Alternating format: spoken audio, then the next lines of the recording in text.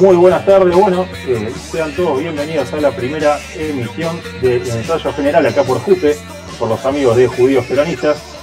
Este, este es el primero de muchos, esperemos, encuentros que vamos a tener acá, donde vamos a intentar dar luz a, varias cuestiones que tienen que ver con la política nacional, la política internacional, eh, también la economía, por supuesto. Bueno, en este encuentro en particular vamos a tener, si Dios quiere, un invitado más que interesante, que es el sociólogo e investigador del CONICET, Gabriel Merino, pero además tenemos otras figuras interesantes que, forman parte de este plantel, un seleccionado sub-23 sería en este caso, son todos menores de 23 años, menos yo. Eh, por ejemplo, estamos con Matías Eldotti, estamos con Lautaro García Lucchesi y estamos con Elías de la Cera. Vamos a ir presentando, de Aura, ¿no? Matías Eldotti quizás sea el más conocido por el público porque participa en varios programas de Jupe, de Jupe los sábados, eh, de Superacción, en Jupe en algún otro programa también. Eh, y bueno, y los otros muchachos que nos acompañan aquí también forman parte de Coinon, que también están transmitiendo con algunos contenidos muy interesantes. Matías, ¿cómo estás? ¿Cómo está? Cristian, ¿cómo están Lautaro y Elías? Y bueno, ya toda la gente que se empieza a sumar, toda la gente estudios peronistas que nos están sintonizando en nuestro primer episodio. Bien, Lautaro García Luché, si tienen, Lautaro tiene un apellido, este, ya si es compuesto es interesante, pero un apellido como de futbolista también puede ser, ¿no? ¿Cómo anda, Lauti?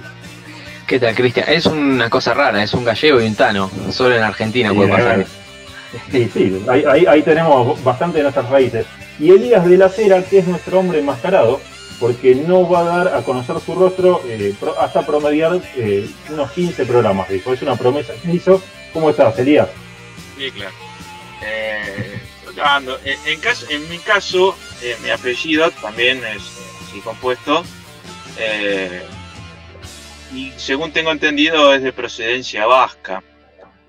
Y yo tengo, no solamente por, por, por elección artística, cierta entonación vasca.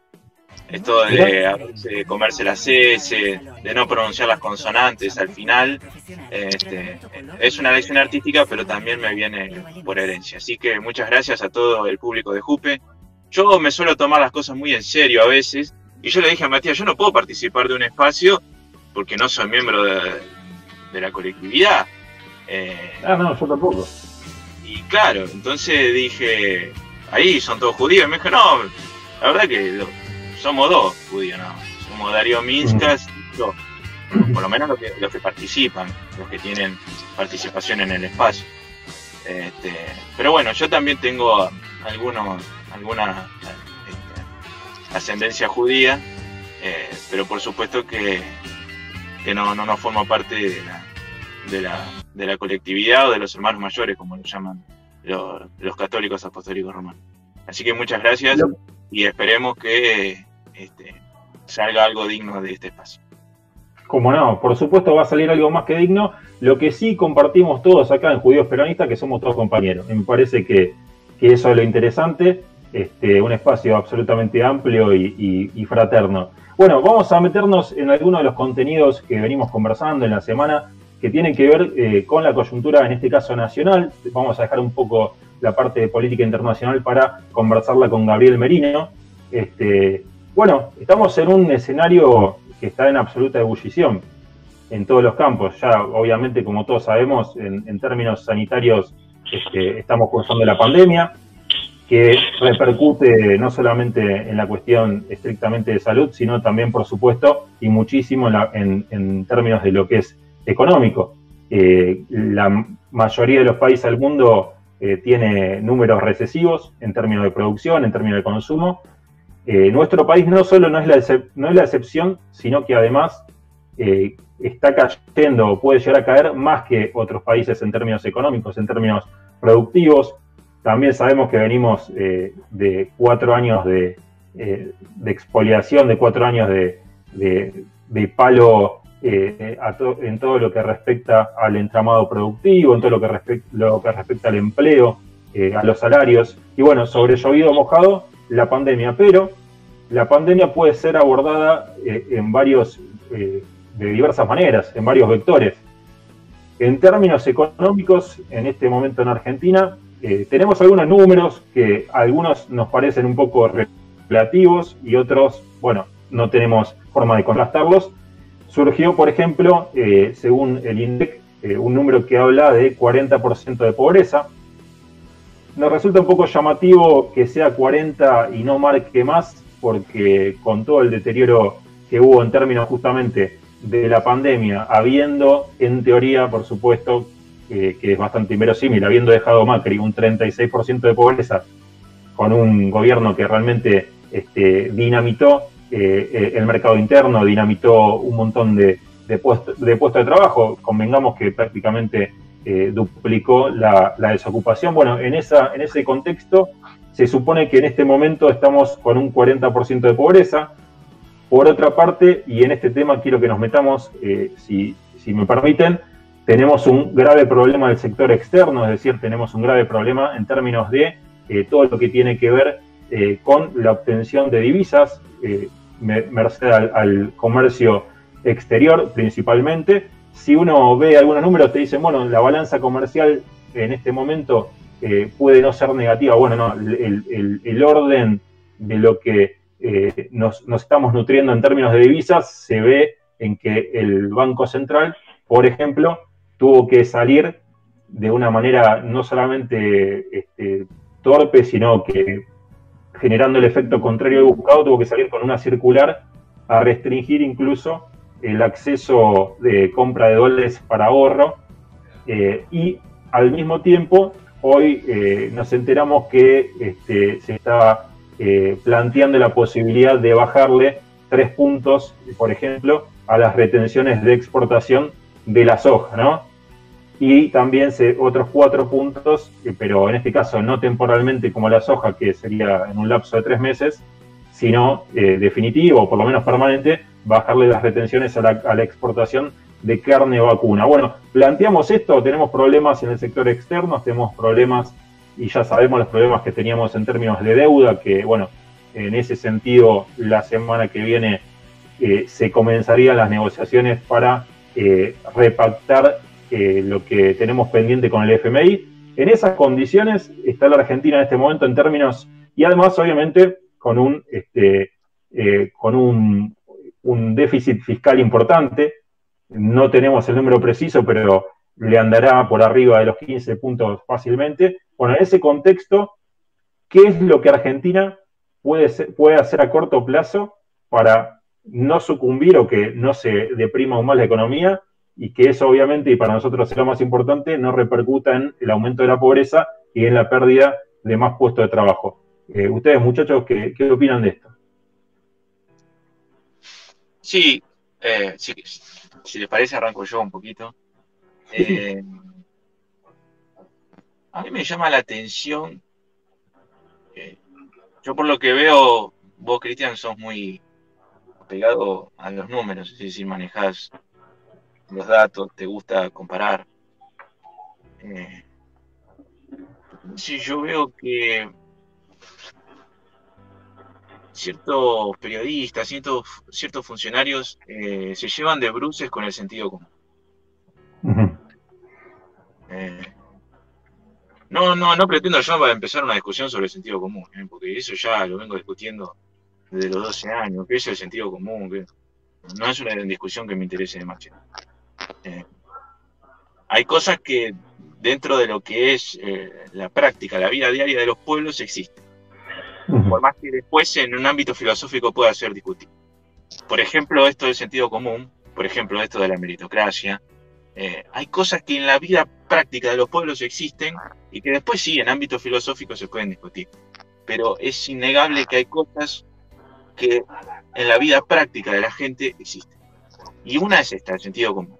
Entonces, si yo, por ejemplo, digo que yo lo he escuchado a Alberto Fernández mucho antes incluso, eh, redondear la cifra, la cifra de la pobreza y decir, eh, recibimos al gobierno con, con, 40% de pobres. Un fenómeno. Eh, y ahora dice, se conocieron las cifras, qué sé yo, 40,9. Eh, ¿Qué se supone? ¿Qué se supone que es el, 9? ¿Qué se supone que es el 36,6? ¿Qué, ¿A qué se refiere esa exactitud? ¿Y qué? Toda esta crisis que estamos pasando, que no aumentó este, eh, eh, en decimales la pobreza. ¿Cuál es la diferencia entre 40,6 y 40,9? ¿Cómo hicieron esa encuesta? Si eso, eh, si eso hay que ir hogar por hogar, ¿qué le hicieron por mail? Porque que yo sepa, los trabajadores del INDE que están en cuarentena. Entonces, yo no quisiera pensar que están dibujando, que están mintiendo, pero que tienen un desorden impresionante para hacer números y para tomar consecuencias a partir de esos números, es evidente que lo tienen. Tienen un problema enorme en ese sentido. No sé si ustedes piensan lo mismo. Sí, yo quería hacer una aclaración. Eh, este 40, no sé cuánto es hasta el segundo trimestre. Es decir, que eh, nosotros lo que va de julio, julio, agosto, septiembre, todavía no hay datos, por lo tanto es probable que hoy sean mayores eh, del segundo trimestre. Eh, con respecto a qué hacer con la economía, yo no creo que la baja de retenciones en tres puntos sea la solución. Por empezar, porque el precio de la soja viene subiendo fuerte desde que empezó la pandemia. De hecho, muchos hablan de como incentivo para liquidar. Bueno, hace un ratito leí una nota que parece que eh, el resultado de las elecciones podría causar un derrumbe en el precio de la soja. Por lo tanto, el incentivo está mismo en el precio del mercado. No hay necesidad de salir a hacer eh, bajas permanentes o concesiones. Eh, yo supongo que cualquier productor racional, en vez de vender a 400 dólares la tonelada, no va a preferir venderla a 150 dentro de tres meses yo creo que hay que buscar otro mecanismo. Eh, porque además se supone que nosotros estamos ampliando el déficit fiscal e imprimimos una gran cantidad de billetes para pagar el IFE, los ATP. Bajar las retenciones es bajar nuestra recaudación impositiva. Por lo tanto, la brecha se va ampliar aún más. Vamos a tener menos ingresos y vamos a tener eh, impreso mayor cantidad de moneda porque sigue el ATP y el IFE. No terminó. Eh, y la economía, bueno, podés imprimir hasta el infinito. Eh, tenés que empezar a pensar en mecanismos de esterilización de toda esa guita que, sacaste a la calle. Eh, bajar impuestos. También estoy viendo que están subiendo, quieren subir las tasas. Eh, el Banco Central quiere subir las tasas, vamos a ver qué pasa con eso, pero creo que están en un, no sé si se dan cuenta del estado de crisis en el que nos encontramos ahora. Creo que no están sorteando bien la situación, no se están dando cuenta que, que no se sabe cuánto va a seguir esto, que no se puede seguir imprimiendo guita para siempre, no puedes pagar salarios, eh, planes, imprimiendo guita nada más, vos tenés que generar, tenés que generar y se genera produciendo, no a través de la timba. Eh, no veo señales de un plan de medidas económicas direccionadas eh, y coordinadas para hacer una salida medianamente prolija, si que se puede salir prolijo de semejante crisis, pero bueno, para marcar un rumbo. Acá yo no... no ¿qué, va a privilegiar? ¿La industria o el campo? Eh, ¿Se quiere reforma laboral? ¿No se quiere reforma laboral? ¿Qué va a pasar con las jubilaciones? Todos temas de fondo que no están hoy en el debate público y que creo que son más centrales que, que cuestiones como un puntito o dos puntitos de las retenciones. Claro, pero el problema con el, con el tema del, puntito de las retenciones es que esa diferencia la va a terminar pagando la gente en el almacén. Porque no es que no pasa nada si le bajas las retenciones a eso, a, la soja y a la carne. Porque resulta que el aceite mezcla que vos comprás tiene aceite de soja. Entonces el aceite va a estar más caro y la carne va a estar más cara. Yo no sé si entienden esto, no, es muy difícil. Si, las retenciones están para eso, hermano. Están para eso. Y la diferencia la va a tener que poner la gente. Ya la carne está carísima. ¿Qué va a estar más cara todavía? Eh, yo no sé qué les pasa. Yo no sé. No, sí, no, no, no, no, hay dudas que incluso leyendo un par de comentarios de los compañeros, eh, yo me atrevo a decir que más que no hay plan directamente o no es el que queremos, yo creo que directamente eh, esta gestión está tapando agujeros. Y los agujeros son continuar con, la, con lo que te dejó Macri, la bomba de tiempo.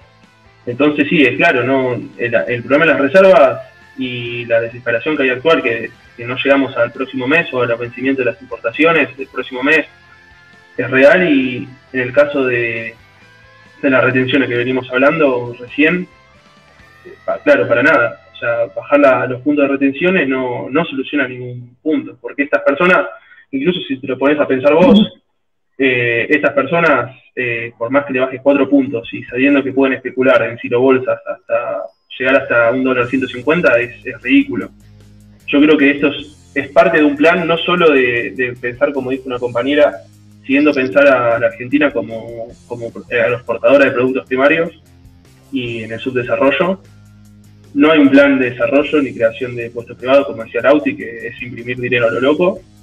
Y ni siquiera imprimir eh, con, un, con costos que, que está generando, sin un plan de desarrollo de producción y trabajo, que vos imprimís más dinero, no generas más trabajo, no generas más recursos para, para cobrar mediante o recaudar el Estado. Y qué sé yo, me parece que las retenciones vienen de la mano de, que no hay una decisión estratégica, no, no se quiere ni pensar eh, al menos administrar el comercio exterior, que sería la herramienta clara y contundente para decir, bueno, no hay divisas, bueno, administrar el comercio exterior, hermano. ¿Qué vamos, vamos a ir eh, en base a lo que te dijo Macri, vamos a seguir importando plástico de China o vamos a hacer un desarrollo nacional. El problema es que hay que preguntarse ahí si este gobierno tiene quiere hacer eso, si tiene un plan o yo ya creo que lo venimos hablando en Jupe y todos los sábados, que ya lo descartamos, ¿no?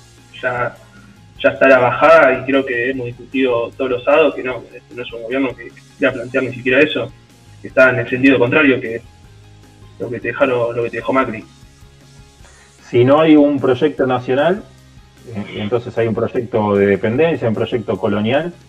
Eh, y bueno, y las señales me parece que son cada vez más claras, por lo menos en una proporción importante, en términos de quizás empezar a formar parte del plan, sí, eh, imperialista en este caso, sobre todo en aspectos económicos, que es el plan chino, ¿no? Formar parte de la, de ruta de la seda.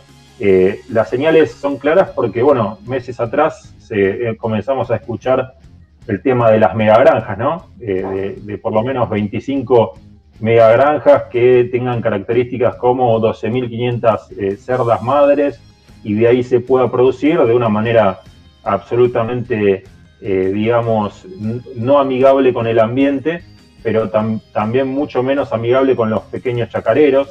Era la, concentración de esa producción intensiva en donde todos los eslabones de esa cadena, desde la producción hasta la exportación, iba a haber intervención directamente de capitales chinos.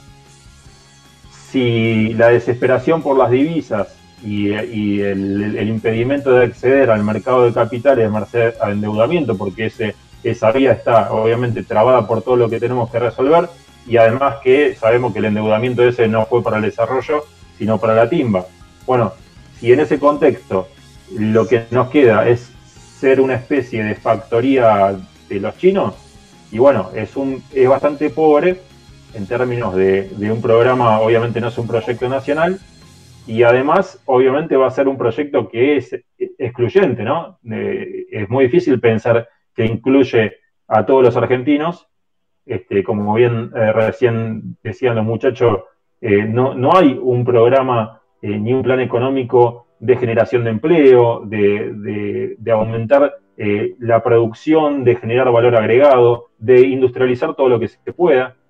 Entonces, siempre la, mayoría de las crisis económicas que vivimos en Argentina son producto del sector externo, es decir, la restricción externa y todo lo que ya sabemos, eh, la ausencia, la capacidad, eh, la incapacidad en realidad de obtener los dólares necesarios para. Cuando el proyecto es más virtuoso, en un momento por ahí no se estrangula el sector externo porque no podemos seguir la velocidad para seguir agregando valor, industrializar, sustituir, y en ese momento por ahí se llega a completar eso, por ejemplo, lo que nos pasó en el 2012, o sea, en un momento se estranguló el sector externo y bueno, y no pasamos a, una fase superior, digamos, de, lo que, de ese modelo económico. Pero muchas veces, Martínez Dios, Macri, por ejemplo, de alguna manera también Menem, en realidad las crisis económicas son producto de que, de que la problemática del sector externo y el endeudamiento son para la timba, son para la especulación, son para favorecer a sectores muy concentrados y no para un programa de, desarrollo o un proyecto nacional. Claro, claro. y, qué, interesante lo que decías con respecto a la pobreza, ¿no? Cuando hablamos que no existe un plan de desarrollo, bueno, con, entre los compañeros, creo que el autor y Elías lo, hemos conversado bastante por privado, sobre qué es el fenómeno de la pobreza estructural, ¿no? ¿Qué, ¿Cuáles son los beneficios para, obviamente, para no el pueblo, sino para los sectores concentrados? de que se establezca una pobreza estructural en base a un modelo de desarrollo, no, un modelo de 65-35, fuera, ¿no? Y siempre hablamos, bueno, ¿la Argentina tiene pobreza estructural, sí o no? Y yo creo que la respuesta es no, pero lo que nos están llevando a hacer es que sí. Y los beneficios de un programa con de pobreza estructural, y que ya también lo venimos hablando en JUPE, es, primero, eh, la Argentina con una mano de, obra eh, barata que beneficia a los poderes concentrados y a su vez eh, eso viene de la mano con una destrucción de empleo privado y, también de, retrotraer a los sindicatos, ¿no? Porque cada vez que generas menos, eh, se destruye empleo privado y los sindicatos, las afiliaciones, etcétera, vienen perdiendo poder, se vienen derechos laborales. No es casual que en, esta, en estos meses haya eh, ponderado la, la voces gente que decía bueno, que quería hacer una reforma laboral, lo vimos con el caso del Mercado Libre. Eh, creo que es, claro que hay un modelo que busca no solo precarizar eh, las conquistas históricas que ha tenido el peronismo en Argentina, sino llevarnos un modelo casi, te diría, chileno, con más pobreza, ¿no? o sea, está en las condiciones muy parecidas, ¿no? Una socialdemocracia, después se alterna con un neoliberalismo, eh, un poco más progresista, ¿no? El, socialdemócrata, Bachelet y después tiene Pineira, y después una pobreza estructural que te sirva para, para mano de obra barata. Creo que, creo que estamos en, eso. Y bueno, obviamente, como dijeron una compañera, que coincido totalmente sobre que es un, un proyecto de colonialismo, colonialismo global, totalmente. Absolutamente, eh, Mati. Eh, yo tuve la, eh, la particularidad que viví dos años en Chile y lo que estabas mencionando es así, puede alternar el gobierno entre la supuesta izquierda y la derecha, eh, cambia para no cambiar nada, porque no hay ninguna modificación estructural, siempre la concentración de la riqueza es absolutamente atomizada, por eso Chile, por ejemplo, tiene el índice de Gini más desigual de, de Latinoamérica, o por lo menos lo tenía hasta hace poco tiempo. En ese sentido, les quiero hacer una pregunta. Eh, porque la característica particular que tiene eh, la, sociedad chilena es que, como decía recién Mati, puede alternar entre las fuerzas, pero eh, pareciera como que son cuestiones más de forma que de fondo, ¿no? Se pueden ver en algunos sentidos, y en esto digo el amigo Horacio, este, algunos acercamientos, etcétera, una intención de generar una, especie de, de, casta política, eh, por decirlo así, aséptica, que en realidad no modifique ninguna cuestión estructural, más bien eh, el quise pero no se pudo, ¿qué le vamos a hacer? Una especie de alianza, por así decirlo. Yo creo que llegan tarde, que el momento histórico para eso ya les pasó. Eh, mira Estados Unidos, está del bipartidismo, está entrando en crisis. Yo creo que le están errando. Y además, eso que decían ustedes del modelo de exclusión. Yo creo que la propia historia argentina demuestra qué pasa cuando vos excluís un sector grande. Tenés el irigoyenismo, tenés el peronismo. Cuando vos eh, dejas gran parte de la población afuera y no le das canales institucionales para poder canalizar sus reclamos, tarde o temprano te estalla en la cara. Y el momento histórico en el que estamos viviendo eh, te está mostrando un ascenso en gran parte del mundo de ciertos nacionalismos revisionistas, eh, antiglobalistas, eh, y nosotros quieren ir a contramano. O sea, el, laborismo la, o la socialdemocracia, después del de, fin de la Guerra Fría, con ese ayornamiento al, a la fuerza de derecha para hacer un centro izquierdo, un centro derecha, sin marcar ningún tipo de reforma estructural, ya está entrando en crisis en todo el planeta. O sea, vamos a Europa, tenés el Brexit, tenés el ascenso de Alternativa por Alemania, de Le Pen en Francia, tenés Vox en España. Eh, eh, quieren ir a, eh, y mismo no sé si que es Brasil con el ascenso Bolsonaro. yo creo que cambió el tiempo histórico y están queriendo hacer algo que, yo creo que pudieron hacer de cierta manera el menemismo, perdieron la oportunidad con la llegada del kirchnerismo al principio, y ahora quieren probar con algo que creo que está mostrado que va a fracasar, porque el mundo está yendo por otro lado. Sí, claro. Yo creo que tienen razón eh, los dos. Eh, cuando cuando, cuando Cristian dice que la intención de, de este gobierno es esa, de formar un, entramado político en los que solamente eh, prevalece la intención de permanecer en los cargos y no la de realizar una verdadera revolución, eh, es cierta, es así, es evidente, y lo que dice el autor también es cierto.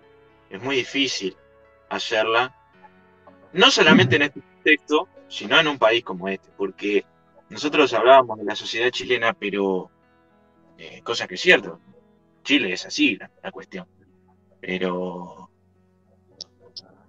en estas eh, particularidades que por ejemplo señala eh, su santidad el Papa Francisco cuando dice que cada pueblo tiene su característica, bueno, nosotros nosotros no somos tan fáciles.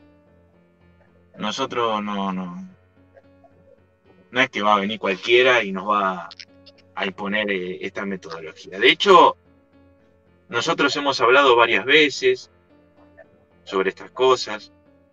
Eh, recuerdo, por ejemplo, alguna tesis de algún viejo maestro que lamentablemente ya no está entre nosotros, que es Osvaldo Furman, eh, cuando hablábamos en realidad de cuánto tiempo pudo prevalecer en la Argentina la democracia liberal burguesa. Porque quizás si uno se orienta o, uno orienta sus estudios en función de lo que impuso la, inteligencia, por llamarlo de alguna manera, de la Unión Democrática, eh, la Argentina funcionaba en, un perfecto estado democrático, liberal, de buenos modales, hasta que llegaron los peronistas y bueno, con todas las patas mugrientas y ensuciaron todo el, funcionamiento democrático del país. Pero en realidad eso no es cierto. La, democracia, esa liberal, esa de la, la que vos estabas describiendo, Cristian, parece que finalizó el 6 de septiembre de 1930 con el golpe que le hace Uriburu a, al Digoyen en su segundo mandato. Eh, es la negación de eh, que ese sea el camino de salvación para mí. Si uno escucha el discurso eh, de Uriburu es, el problema fue la endiezación de las, de las instituciones. Los caminos institucionales no nos llevan a ningún lado. Y este fue el problema.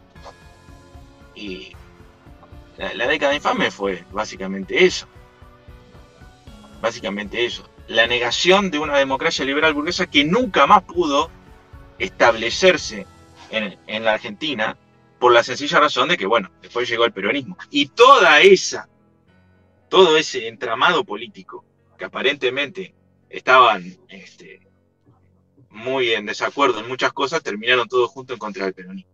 Esa es la diferencia entre un movimiento revolucionario y entre un, partido de macanudo que lo único que le importa es este, vivir de sus cargos.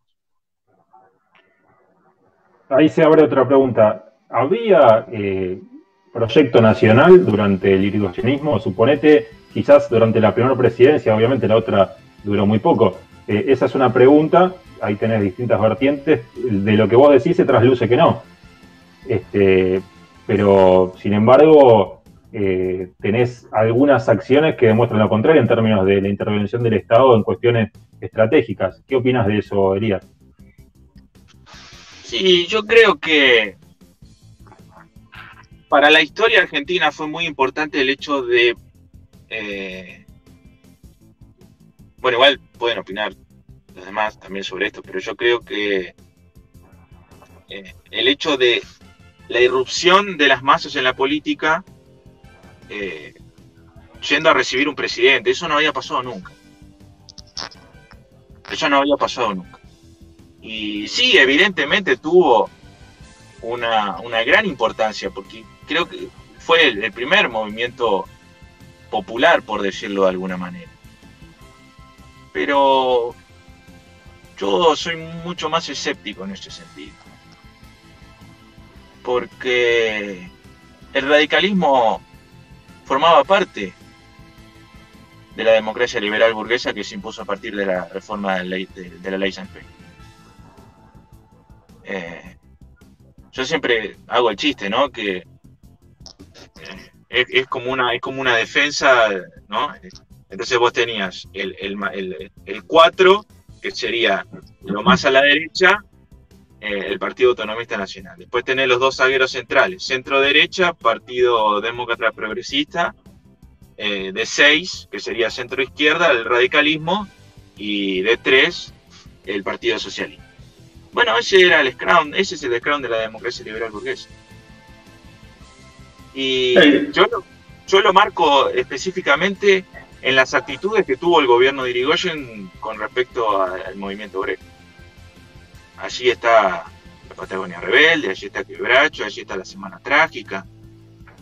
Yo no, no, no, no, no tengo esa visión tan benevolente con, el, con el irigoyenismo, que, que quizá viene más del lado de Forja, que de alguna manera recicló a los que venían del radicalismo y terminaron en el peronismo, caso Jaurechi, caso Calabrini, caso Meromansi. Eh, pero esa visión que, que impuso Jaurechi sobre una especie de, que vio en el peronismo una especie de reivindicación del irigoyenismo, yo nunca la compartí demasiado.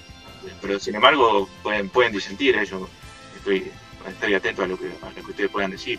No, yo me que comparto tu, yo comparto tu, perspectiva. Yo creo que el hidrogenismo nunca planteó un proyecto nacional, ni siquiera económico.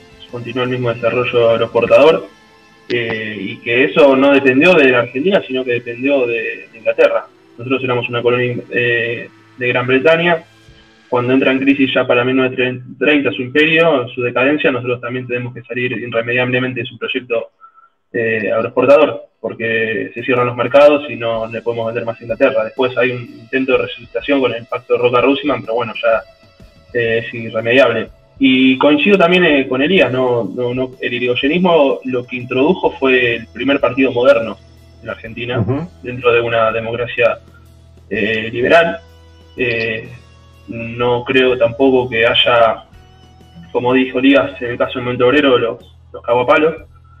Eh, pero sí, eh, hay algunos componentes de liderazgos del personalismo de Irigoyen, eh, algunas cosas interesantes en ámbitos de política internacional que me ha tocado investigar un poco, en cuando se introduce la sociedad de naciones, el neutralismo, algunas tendencias interesantes, pero en general no, no, no considero al irigoyenismo como un proyecto nacional. continuó algunas cosas, se dice algunos intentos de Irigoyen del Estatuto del Peón, es interesante, pero incluso me atrevo a disentir un poco en el sentido de que, de que los irigoyenistas comulgan el peronismo, como porque hay tres, como mencionó Elías, eh, Scalarini Ortiz, eh, eh, Mansi y Jaureche. Los demás, los demás estuvieron en la Unión Democrática. Es más, los antipersonalistas son los que introducen a, se meten en el peronismo. No se llevó los, los irigoyenistas. Claro, Quijano, Quijano, ¿de dónde era? La Unión eh, la Unión Cívica Radical Junta Renovadora que introduce la Unión eh, que eh, la crea Perón y Quijano son todos personalistas del interior, medio conservadores. Los irigoyenistas estuvo del otro lado. O sea, es muy interesante igual esa postura que marca Díaz porque coincido en que hubo los Forja que quiso conectar el irigoyenismo con el, con el peronismo. Sí, acá un compañero dice la creación de IPF con Mosconi. Eso es interesante, fue la primera estatal eh, creo que no la hizo Irigoyen, eh, la hizo Alvear de IPF. No, no fue Irigoyen, incluso, ¿no? Lauti no sé, o Lías, y, sí, sí. no me equivoco. Yo incluso... Creo que se concreta con Alvear, pero el proyecto ya venía de Irigoyen con el general Mosconi, eh, las tratativas, digamos. Pero sí, es cierto, se concreta durante el gobierno de Alvear. Digamos, se pone la firma, el gancho la creación de la empresa, pero ya la discusión viene Viene, de hecho, es interesante que venga desde el ejército, eh, por el hecho de que desde la profesionalización del ejército argentino, eh, los encargados de formarnos a nuestros eh, soldados eran prusianos, antibritánicos, entonces ese germen industrialista viene un poco de ahí, ¿no? Del rechazo de los de estos prusianos al proyecto de libre comercio de de los británicos y bueno, al venir a, a formar acá al ejército argentino, digamos, traen sus posturas de allá.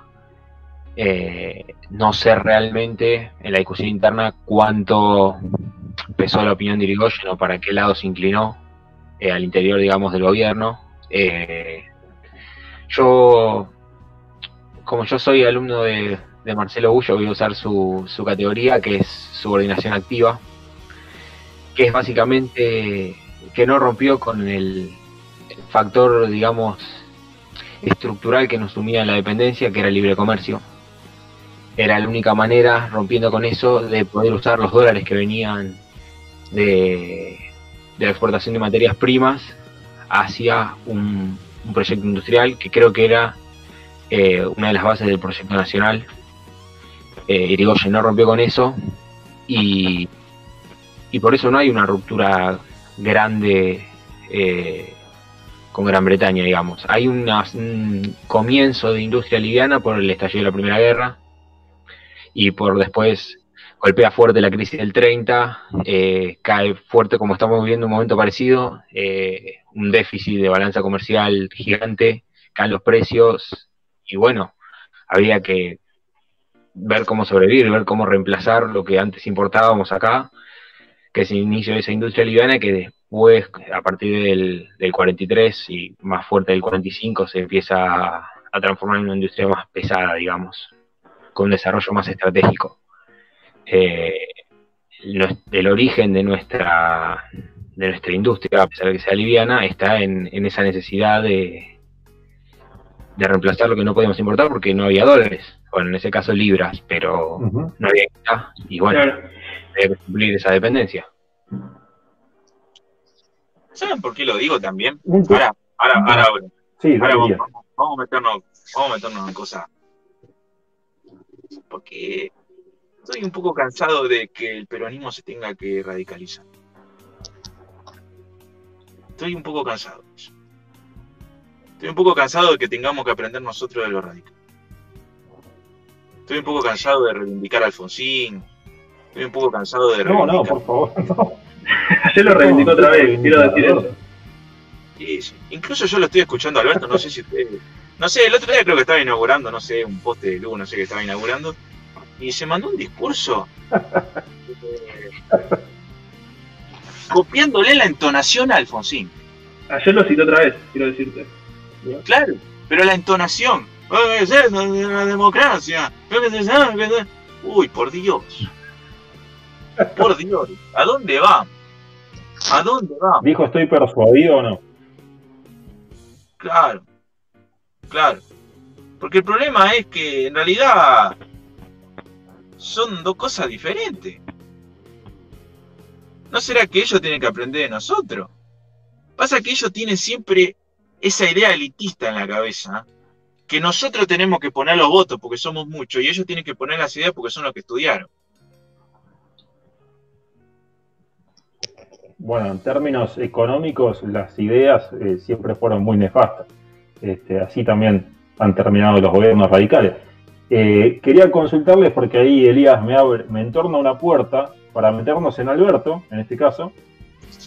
Tenemos, eh, podemos analizar, ahora nos, nos, volvemos de Irigoyen, nos volvemos de la Unión Democrática, de, nos volvemos de la década infame, nos volvemos de el peronismo del 43, de, digamos, del GO, nos volvemos del peronismo del 45 en adelante y volvemos a sacar la actualidad. Y tenemos la característica de el Frente de Todos, que es un, ellos, digamos, se caracterizan como un gobierno de coalición, donde los votos mayoritariamente los, los puso el peronismo, este, una cantidad por lo menos este, de una gran magnitud, pero que no es, no es muy afecto, evidentemente, Alberto Fernández a la doctrina, eso ya lo sabemos, también lo sabíamos antes. Para ustedes, ¿cuál es la motivación por la cual de varios cuadros muy interesantes que se podrían haber eh, elegido, cuál es la motivación para que se haya elegido Alberto Fernández? Eh, yo creo que es claro, lo, lo venimos discutiendo como siempre digo, Tatiana Jupe, o también discutimos el otro día en podcast. Eh, yo creo que la postulación de Alberto Fernández, primero coincido en una cosa con que dijo Guillermo Moreno el otro día, que Cristina hizo el peor. Coincido. Y segundo, yo creo que la postulación de Alberto Fernández es la consolidación de poner un, un operador mediático, judicial, político, lo que es Alberto Fernández, lo que siempre ha sido, en tanto ese rol que ha cumplido de jefe de gabinete de Néstor Kirchner, operador político y intermediario con. Eh, y yo creo que es también la conexión que, ha hecho Cristina o que la han condicionado a hacer con Sergio Massa. Eh, porque es, como la conexión y la intermediación para que Sergio Massa esté en en el gobierno. Tanto Alberto fue, bueno, eh, jefe de campaña de 2013-2015 de Massa, después de Randazo en 2017, ¿no? Pero yo considero que, la postulación de Alberto Fernández es esa idea que, es discutible, muy discutible, de porque yo creo que ha, hecho, como venimos diciendo en Jupe, de, un condicionamiento de Cristina, de, apretarla y de haberla puesto a la, postura de él. Eh, si no lo tomamos el lado de condicionamiento, yo creo que es una pésima decisión. Si no ha, sido condicionada, y creo que es una idea estratégica terrorífica, que fue una derrota táctica para las elecciones y una derrota estratégica para el movimiento nacional entero, eh, lo que estamos sufriendo ahora. Eh, incluso te diría que, que Alberto Fernández no siempre se ha pregonado y siempre ha, jugado para el lado opositor, para dividir los votos del peronismo. Y Sergio Massa lo mismo, de que se fue el gobierno. Eh, yo creo que es, hay, una tendencia clara en ese sentido.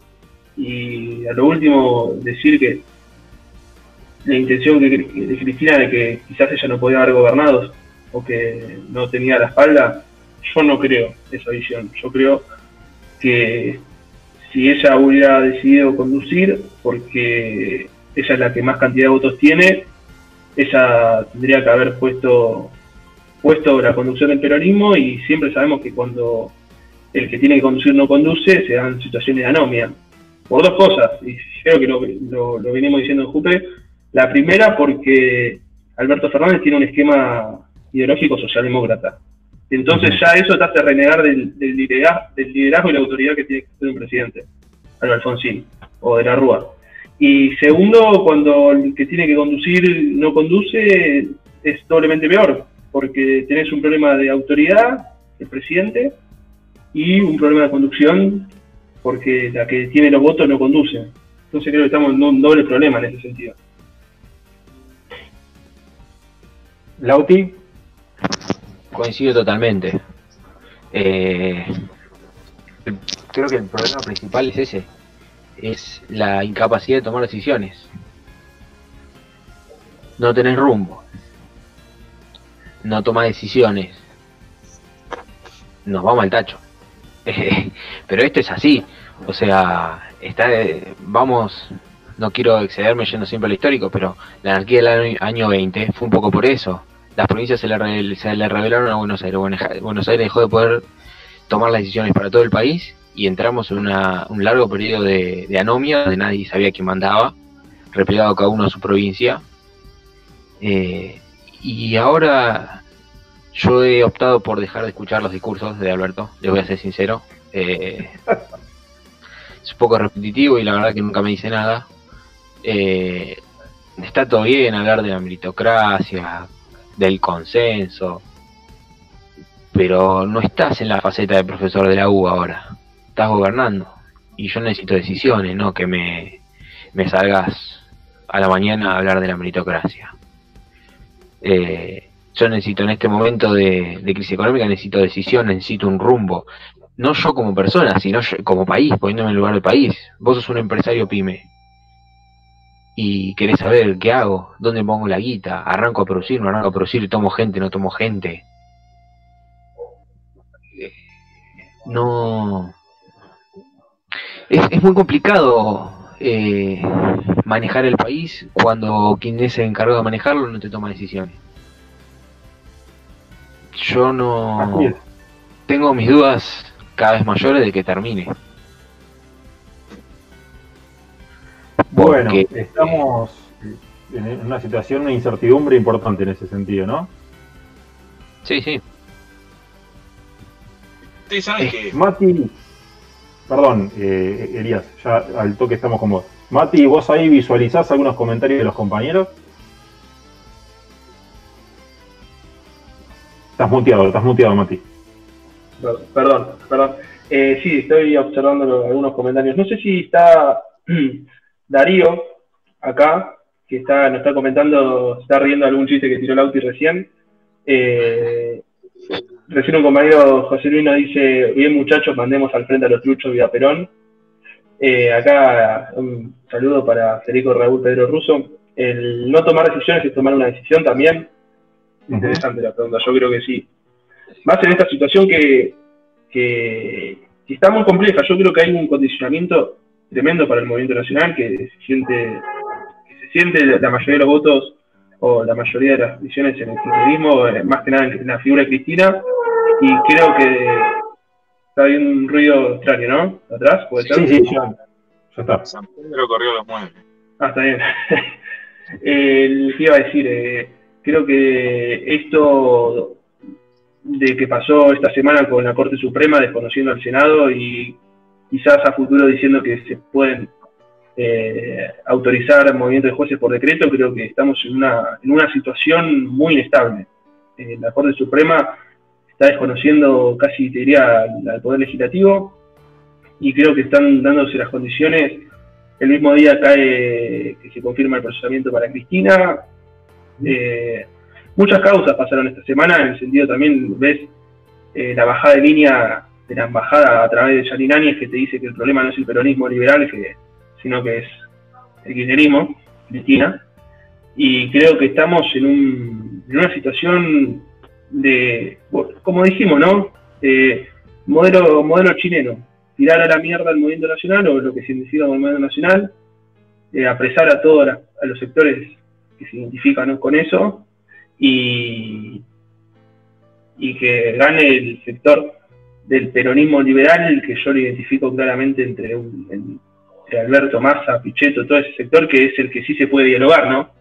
Al que sí, al que sí se respeta. Acá, bueno, el mm. último comentario que digo y, le doy la, palabra a Elías que iba a comentar, dice, ¿cuánto falta para la foto de Alberto con la sociedad rural? Del Pocho dormir con esto, el compañero. Ya la tuvo cuando hicieron esa, ese especie de acta, no me acuerdo cuándo fue, ya hubo foto, la sentó ahí adelante. Elías. No, no, no iba, porque vos hiciste una pregunta que, que está buena, pero evidentemente habría que lograr eh, separar la, las conjeturas en dos grupos. Primero, si la decisión que tomó la tomó a, propósito o con un fin en particular, o si simplemente se equivocó. Cabe la posibilidad de que se haya equivocado. ¿Por qué no se puede equivocar? Eh, en este sentido, hay una anécdota que a mí me gusta contar a veces porque es bastante esclarecedora. La mayoría de los muchachos ya la deben conocer. creo que una de las últimas entrevistas que da Kirchner la da a Alberto Silvestre. Bueno, termina la entrevista, qué sé yo. Y Kirchner se está yendo y Silvestre le palpita el apuntamiento, se le acerca y le hace una pregunta no me pregunta qué opinaba sobre la designación de Lustó en el Ministerio de Economía. Yo qué opinaba. Y ahí Kirchner abre los brazos así, en un gesto típico de él, y dice, ah, dice, eso es cosa de Cristina y Alberto. Ese pendejo concheto conmigo no tiene nada que ver. Eh,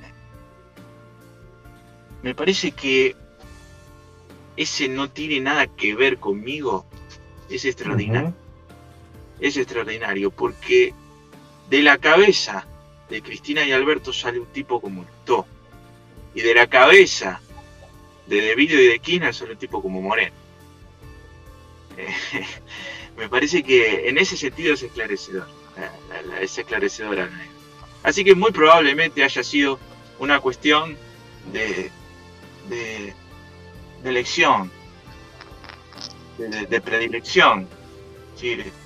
Cristina es afecta a este tipo de gente.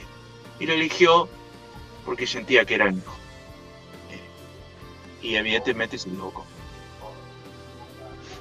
Acá tenemos un, contraste un poco entre lo que decía Matías respecto a la función por la cual eligió Alberto Fernández, que tiene que ver con su capacidad de lobista, operador, etcétera, y eh, Elías, que está hablando de, un sesgo conceptual, ideológico, respecto a una predilección, dice, eh, por este tipo de gente, bueno, lo podemos caracterizar por la socialdemocracia, por un, un Lustó o un Alberto.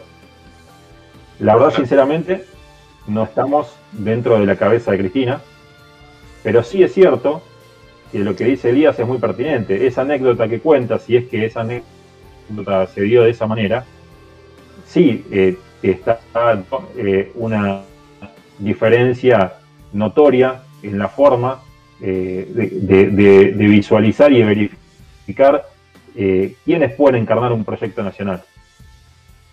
Sobre todo por la posición, porque una cosa es que vos quieras este, ingresar, porque bueno, en su momento, recordemos que Néstor eh, brigaba también por la transversalidad como una eh, característica para hacer más robusto su caudal político, pero el tema es en qué posición va cada uno, ¿no? O sea, el Ministerio de Economía no puede ir alguien que este, sea contrario a, tus principios y valores. Si lo pones en alguna secretaría, en otro ministerio que no tenga ese peso específico, puede ser pero bueno, en ese sentido me parece que es muy pertinente lo que está mencionando Elías. En minutos nomás vamos a tener la presencia eh, de Gabriel Merino, ahí me confirmó, que viene de, otro, de otra ponencia, y vamos a eh, sumergirnos un poco más en la política internacional, que además, eh, para quienes no los conoce, es un poco el campo de acción de este seleccionado sub-23 que, me está acompañando hoy acá, porque todos estudian relaciones internacionales, ¿verdad? Sí, Así es. Acá, bueno, como el Lautaro ya le podemos decir casi licenciado. Está esperando que abra la facultad si le pueden dar de una vez el título. Así que. Vamos. Estamos ahí. Eh, acá ya estamos observando un poco tanto los comentarios como lo, estamos transmitiendo y veo que Gabriel ya está ya está con nosotros en la llamada. Cuando vos me digas, Cristian, y los compañeros lo, lo, lo, hacemos, lo hacemos pasar, ¿cómo no? Lo hacemos pasar. Acá lo preparamos un poco y lo, hacemos pasar. Bien. Sí, Gabriel es investigador del CONICET, eh, especialista en política internacional, es doctor en ciencias sociales, es sociólogo, y bueno, y la verdad que tuvo la deferencia de sumarse a esta charla y se lo súper agradecemos porque viene de otra charla, así que bueno, eh, muchas gracias Gabriel por compartir este, este espacio con nosotros. ¿Cómo estás? No sé si nos está escuchando ahí. Eh, está silenciado, por eso no, no, se escucha. A ver, a... Desmuteate, Gabriel, a ver, ¿cómo estás?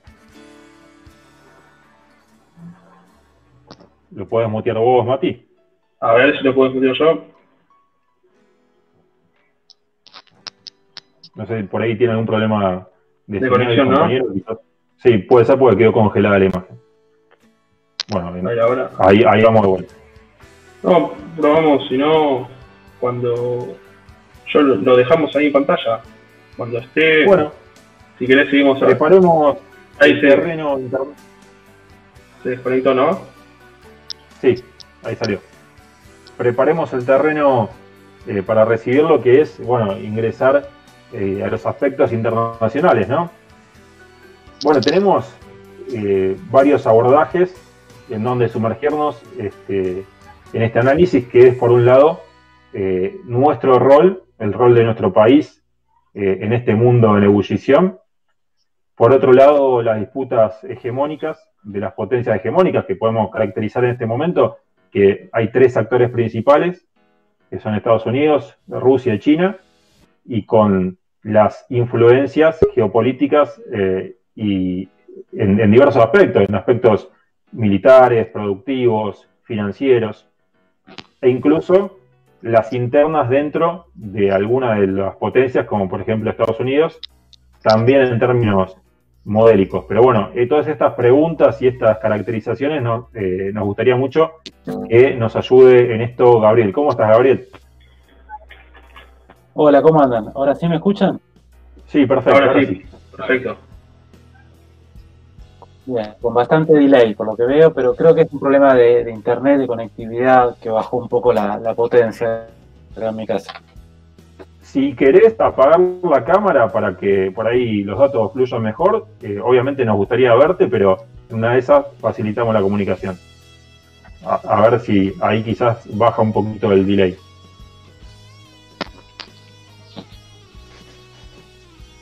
Bueno, Gabriel, en principio, nuevamente agradecerte eh, por compartir este espacio con nosotros hoy. Y bueno, queríamos aprovechar este, tu conocimiento en términos de política internacional. Una de las cuestiones que, fuimos un poco conversando y dejamos el desarrollo para cuando ingreses es el rol eh, de Argentina en este momento en el concierto mundial, ¿no? En un mundo que absolutamente está en ebullición. Creo que no sé si nos, ¿No nos está escuchando. No, Bueno, problemas técnicos. Un mundo en ebullición que a partir de la pandemia hace ya... Estamos con problemas de delay. Yo, eh, si me escuchás, Gabriel, me vas a escuchar unos segundos tarde, pero arrancá nomás y no te interrumpimos. lo que pasa es que hay muchísimo delay. Eh, en no te interrumpimos. Decía, bueno, es una pena. Eh, el, problema del delay. Entonces lo que decía era que, bueno, si justamente vivimos en un mundo en ebullición. Creo que estamos en una fase de pasar donde la, crisis de hegemonía que, se ve, la crisis del orden mundial, pasamos a la fase de, caos sistémico y, de desorden mundial. ¿no? Eh, sobre todo eso es una tendencia que se empieza a observarse, pero que post a partir de la pandemia, hay un nuevo o emerge un nuevo momento geopolítico mundial, eh, tendencias como el declive de Estados Unidos y Occidente, el declive relativo, ¿no? El ascenso de Asia Pacífico y China, que acelera otra tendencia como la crisis económica estructural eh, en el norte y también en gran parte del, mundo, salvo justamente Asia Pacífico, acelera la tendencia provocada por las propias acciones de, Estados Unidos que, forjó eh, como parte de la construcción mundial, forjó esas instituciones, eh, la e, económica, productiva, tecnológica, algunos, la cuarta revolución industrial, lo que tiene que ver con todo, con hacer aseado. Y bueno, en ese mundo estamos, en plena pandemia, creo que Argentina, eh, como país latinoamericano, está en un dilema, ¿no? Que es profundizar un proceso de, declive periférico, como se vio en los últimos cuatro años en Argentina, en Brasil, en la región. Proceso que, en realidad se inició claramente eh, en los 70, 80 con, la imposición de periféricos y, y, crecientes grados de subordinación geopolítica, eh, detuvo un poco en los 2000 eh, y, que, se logró revertir en algunos de sus aspectos, pero que, avanzó mucho post 2015 y 2016. Entonces está entre el dilema de profundizar ese declive eh, atado como periferia a un occidente en declive o aprovechar estos momentos de transición histórica, convulsiones eh, en, el mundo, eh, transición de poder, ¿no? como, fue otra transición, como fue la de 1914-1945-53 con la guerra de Corea, y aprovechar eso para construir un proyecto nacional de desarrollo anclado ¿no? en, la posibilidad de que como región se, se construya un núcleo desarrollo productivo, tecnológico, de, aumento de las capacidades nacionales, en todo sentido. Creo que estamos en, ese, en ese dilema, hay que ver, se está eh, en estos días eh, hacia dónde va en ese sentido Argentina. Bien, eh, al respecto a lo que tiene que ver con todo lo que se está conociendo en la relación bilateral con China y en eso hablamos eh, por un lado de las megagranjas, por otro lado eh, el tema de quizás la posibilidad de activar el swap con China de 18.500 millones de, dólares, eh, por otro lado el pedido chino, la intención en realidad de generar este, un, tren que, cubra el, el, territorio que va desde Vaca Muerta y sale por el Atlántico, todo, todo este tipo de inversiones que generaría una inclusión dentro de lo que es la ruta de la seda. ¿Qué piensas al respecto? ¿Hay una intención por parte del gobierno nacional de alinearse en esa vía? Pensé que era menos el delay.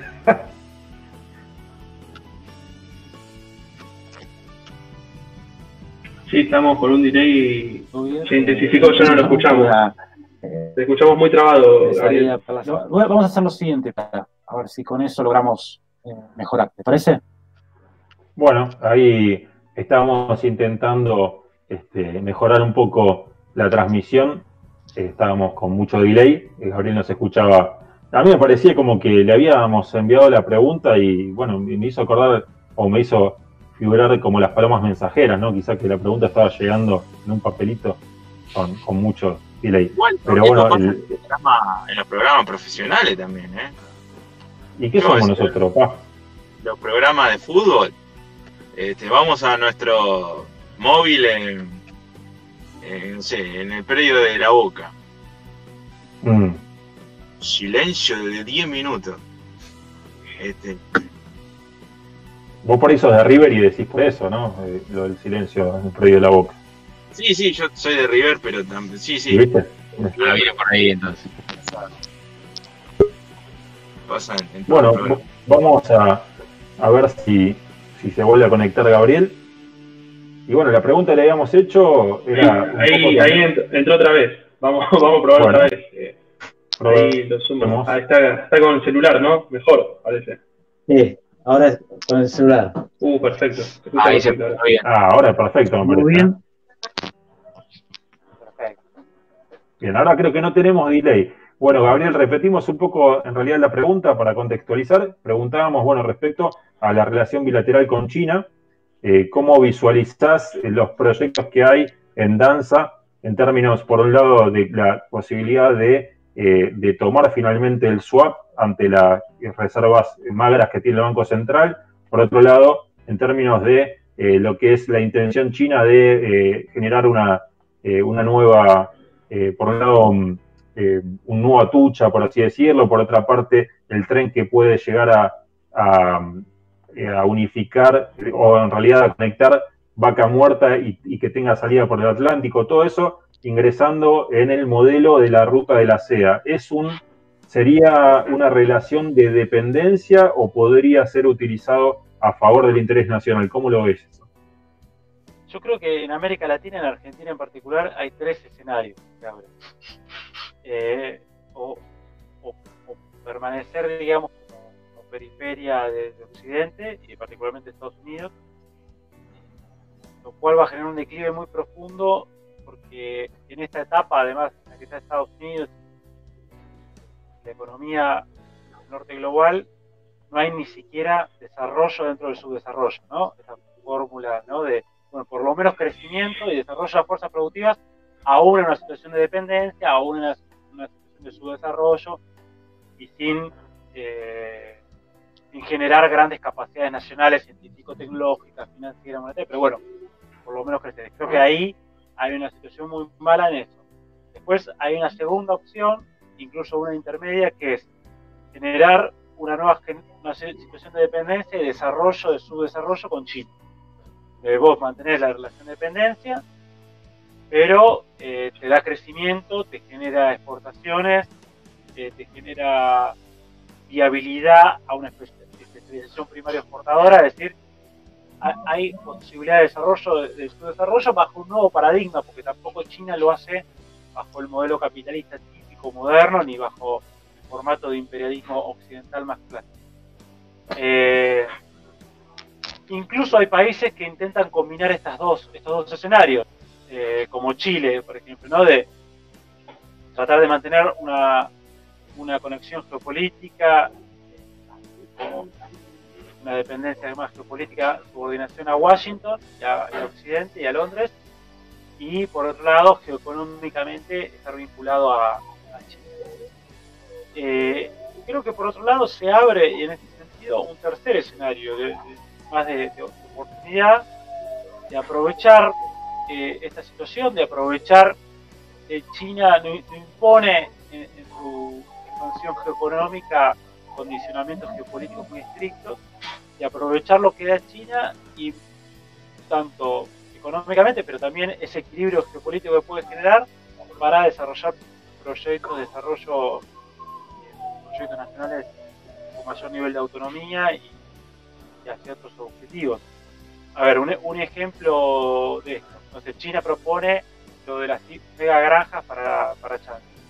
Bueno, uno puede tomar esa demanda y decir, bueno, lo voy a hacer, lo, podemos hacer, pero con otra ah, planificación, no en esas mega granjas que generan un conjunto de problemas, sino unidades más chicas, con, otra ecuación eh, en tanto cuanto a la participación de capital chino, pero también de capital nacional e incluso intervención estatal, con transferencia tecnológica que se puede realizar, es decir, en, en otra ecuación. Eh, y, y lo mismo se puede hacer en, en otros rubros, como mismo China hace con muchas empresas de Occidente, ¿no? O como China aprovechó en su momento eh, la situación estratégica entre la Unión Soviética y, Estados Unidos para maniobrar eh, en esa tercera posición a lo chino, ¿no? Eh, creo que, se nos abre también esa, condición y esa posibilidad y creo que es lo que se puede explotar. Respecto eh, a, la posición geopolítica para lo que es el esquema chino, para lo que es el proyecto chino de Argentina en la, en la región, es importante tener un país por el cual pase la ruta de la seda, teniendo en cuenta que por ahí se está vislumbrando que Brasil eh, va a estar alineado al eje norteamericano. Mira, sí, yo no sé si va a estar tan alineado al eje norteamericano Brasil, ya lo vimos en, varias situaciones, porque incluso adentro del gobierno de Bolsonaro está en fuerte disputa. Claramente, el núcleo duro de Bolsonaro es Bolsonaro mismo, Paulo Guedes y Araújo, su, canciller, es bien pro-Occidente y, Estados Unidos y juegan este papel. Pero, por ejemplo, su vicepresidente, Hamilton Murao, hizo afirmaciones muy fuertes sobre la importancia de estar en una muy buena relación con China de mantener esos lazos. Incluso llegó a decir que tienen un matrimonio necesario, China y Brasil. Eh, y, incluso eh, frente a la posición anti-China de, Bolsonaro también eh, lo enfrentó esa posición la, ministra de Agro, Agronegocios, Teresa Cristina, que dijo que nosotros tenemos que mantener una muy buena relación con, China. El propio Hamilton Murao viajó y hizo eh, una estadía muy fuerte en China, quedando cinco días. Incluso se habla de instalar 5G. Es decir, eso está en disputa. ¿Y por qué digo esto? Porque hay una cuestión fundamental que el único motor de verdadero crecimiento fuerte es China y es el único motor de inversiones extranjeras directas eh, reales hoy por hoy en lo que viene. Con lo cual eso hasta incluso en las clases dominantes latinoamericanas o los sectores propietarios más vinculados a, los productos primarios exportadores, eh, genera una seducción muy fuerte. O sea, genera... Eh, y además, China, la tendencia es que eso se siga multiplicando y creciendo. O sea, las tendencias son que China va a, va seguir desarrollándose. China hoy por hoy, de las 500 empresas principales del mundo por ingreso, ya superó a Estados Unidos 125 en China, 121 son las americanas, superó a Estados Unidos en patentes, es decir, eso tracciona, eso genera crecimiento, genera desarrollo de fuerzas productivas, tanto un esquema de dependencia o un esquema más eh, soberanista. Entonces eso atrae. Creo que en ese sentido, sumarse a la, a la ruta de la seda y, equilibrar posiciones con Washington a medida que se trata de construir un propio camino es, es, importante, es importante por, por la dinámica que se puede generar desde ahí, y yo creo que va a seducir a toda América Latina. No es casualidad que, por ejemplo, un gobierno alineado históricamente con, Estados Unidos, el Reino Unido, como, como el de Chile a partir de Pinochet, eh, mantenga eh, fuertes con China o por ejemplo, en la cumbre de, la CELAC de 2018, de la CELAC con China, que se realizó en Chile, se avanzaron un montón de acuerdos, se avanzaron un montón de, cuestiones. Eso tracciona, va, va a traccionar, eh, porque de hecho también está encabezando China los procesos tecnológicos más, maduros. Obviamente Estados Unidos ahí tiene un papel muy importante, pero, China sin duda está encabezando, por ejemplo, todo el tema del 5G, inteligencia artificial, en gran medida Internet de las cosas, o también la transición energética, y eso va a generar cada vez más atracción, eh, atracción a futuro.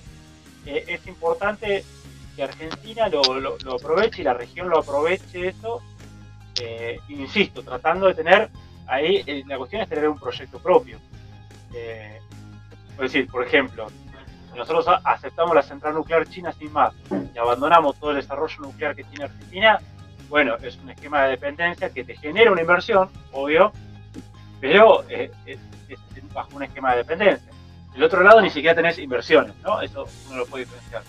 Pero el tema es decir, bueno, está bien, China podemos generar alguna iniciativa nuclear conjunta, pero nosotros queremos, y nosotros vamos a potenciar nuestra propia eh, expertise en la materia, nuestros conocimientos, nuestro desarrollo en materia nuclear y con tecnología, tecnología propia. Entonces, bueno, hay que ver ahí eh, esas negociaciones, cómo, cómo se pueden llevar adelante. Un ejemplo más de esto, en su momento, cuando en el final del mandato de Cristina, hacia 2014, cuando de hecho Cristina hace giro importante hacia Rusia, China y los BRICS, sobre todo a partir del golpe de los fondos buitres, ¿no?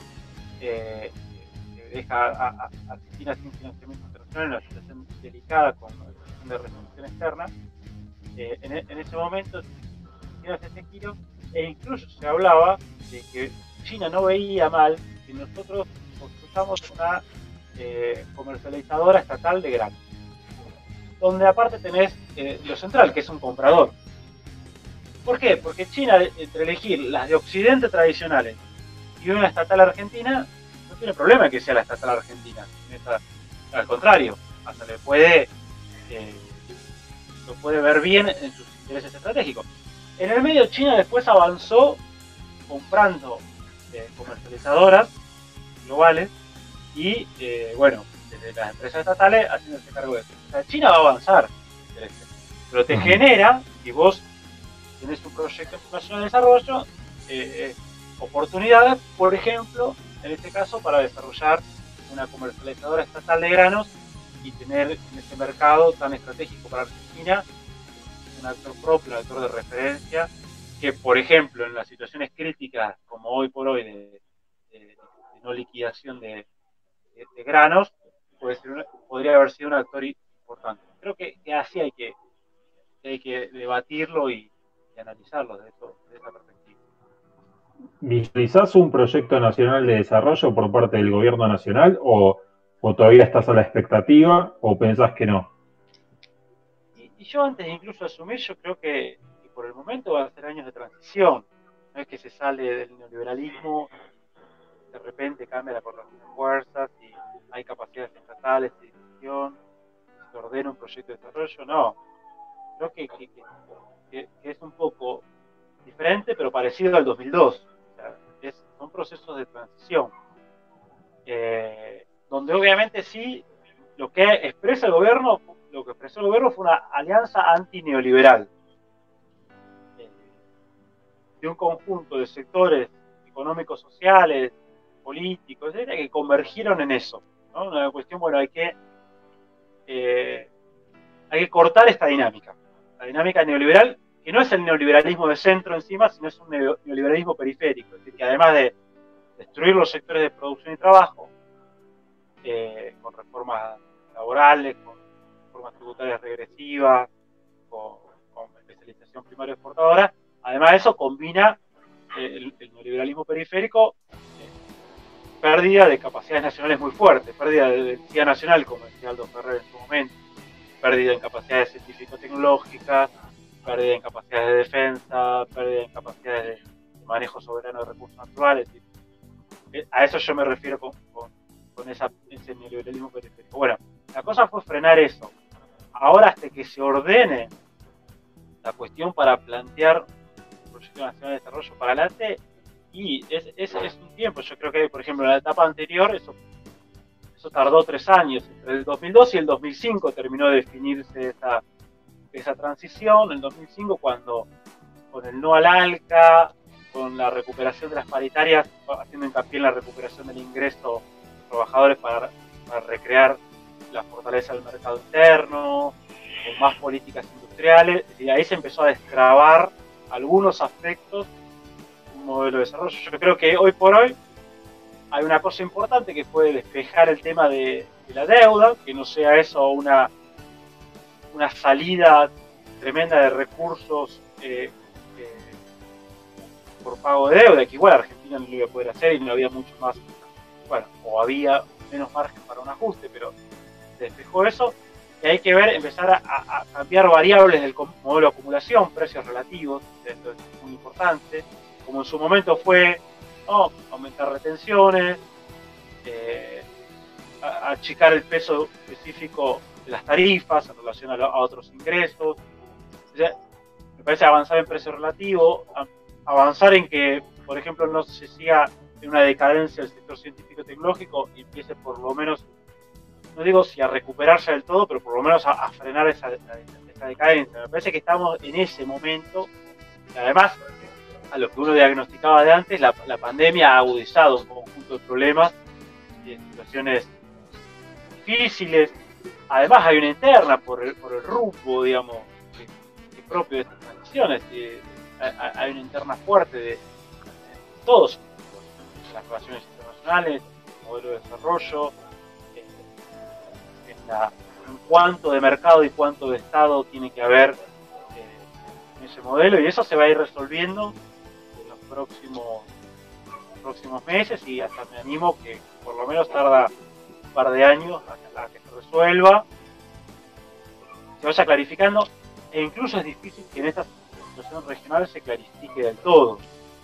Eh, Argentina aislada, situación regional eh, complicada, es difícil que por sí misma consolide un proyecto nacional de desarrollo. Creo que en todo caso puede poner un freno a este neoliberalismo periférico y a esa subordinación política tan compleja y eh, eh, empezar a recuperar áreas y, situaciones generando otros equilibrios internacionales que no solo es Rusia y China, sino que creo también puede ser la Europa del eje franco-alemán, que intenta autonomizarse un poco de Washington, tener otra, otra perspectiva, bueno, y otros aliados. Creo que, va por ahí, ¿no? Recién mencionabas internas dentro del Frente de Todos. ¿Cuáles son los actores que las encarnan y cuáles son los proyectos detrás de, esos actores en tu visión, no? Eh, bueno, yo digo, lo, nacional popular tiene siempre por lo menos cuatro grandes líneas eh, que, discuten. Eh, el justicialismo más clásico, que es un modelo de desarrollo, un trabajo más especialista, más conservador, tercera Estado continental regional, protagonismo trabajador.